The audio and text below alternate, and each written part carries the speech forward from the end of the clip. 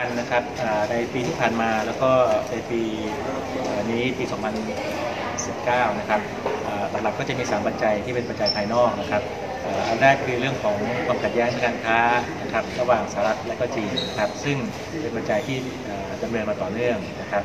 อ่าในส่วนที่ 2 ก็คือเรื่องของการปรับขึ้นอัตราดอกเบี้ยนโยบายของเฟดนะครับซึ่ง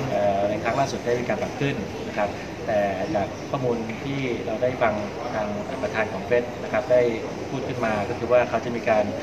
ดูภาวะของตลาดในขณะนั้นมากขึ้นให้ความสำคัญกับภาวะตลาดมากขึ้น ก็ยังรอดูอยู่ว่าว่ามันจะแปลว่าเขาจะขึ้นในอัตราที่ชะลอลงหรือไม่นะครับส่วนอันที่ 3 จะเป็นเรื่องของน้ำมันนะครับซึ่งน้ำมันเนี่ยต้องยอมรับว่าปีที่ผ่านมาผันผวนค่อนข้างสูง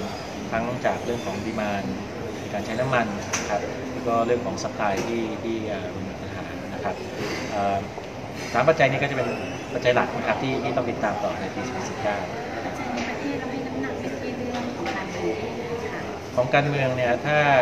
สามารถดำเนินได้อย่างเรียบร้อย ก็จะเป็นผลกระทบเชิงบวกนะครับเพราะว่าจากข้อมูลที่เราติดตามเนี่ยแม้ว่าในปี 2018 ที่มีเงินไหลออกจากตลาดทุน แต่ก็มีเงินในไซส์ที่เกือบเกือบเท่า ๆ กันเลยฮะมาพักอยู่ที่ตลาดพันธบัตรนะครับ ก็แสดงว่านักลงทุนต่างชาติเนี่ยก็ยังมีความเชื่อมั่นในประเทศไทย แล้วก็ยังรอจังหวะนะครับรอดูจังหวะอะไรบางอย่าง ที่เขาจะกลับเข้ามาลงทุนในตลาดทุนอีกครั้งหนึ่งนะครับถ้าถึงผลในปีนี้ค่ะเรามอ ปัจจัยที่เป็นปัจจัยที่ uncertain นะครับในปีที่แล้วกับปีนี้ก็ยังเป็นปัจจัยที่คล้ายๆกันนะครับสิ่งที่ต่างกันก็คือว่าในปีที่แล้วเนี่ยเราถูกคอ t by surprise นะครับคือไม่มีใครคิดว่าทางสหรัฐกับจีนจะมีการขัดแย้งกันในเรื่องของการค้ารุนแรงขนาดนี้นะครับแต่ในปีนี้เนี่ย